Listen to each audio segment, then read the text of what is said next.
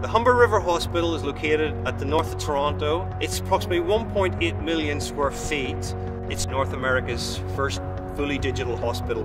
When we looked at the challenges of designing and building this hospital, we first needed to look at what the community needed and what the future of healthcare was going to look like.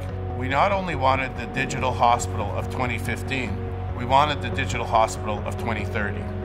One of the main features of our sustainable design was energy efficiency. And by achieving the benchmarks that we set for ourselves, we believe that we will be the most energy efficient hospital in North America.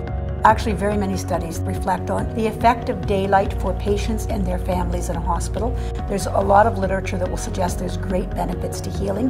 It actually speeds the healing up. Originally, the project specifications talked about an integral blind system. As one solution, we looked at doing roller blinds on the outside. The roller blinds were found to be a concern for infection control for the hospital and collection of dust and dirt. So ultimately, View was a product that provided a solution to the shading requirements and met with the hospital's digital vision for looking at new technologies. View Glass embodies the primary principles of our design, lean, green, and digital.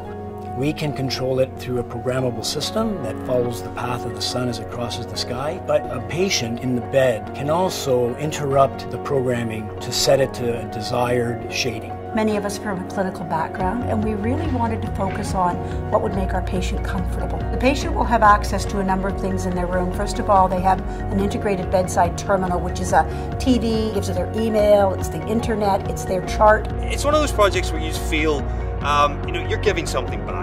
You're dealing with people, so getting natural light into a building, especially a hospital building, is wholly important with the view glass, we still get the views. From that respect, it answered all our questions on so many levels.